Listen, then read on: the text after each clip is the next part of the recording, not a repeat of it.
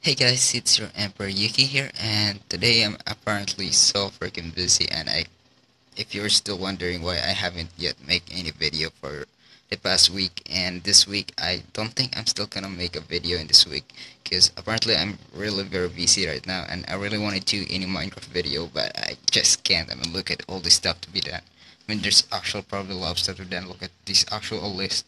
I'm gonna have to blur. I don't want you guys to see it apparently, but it's actually that's a list of stuff to be done at school. It's still freaking messed up. I mean, there's actual lot of stuff and to be studied.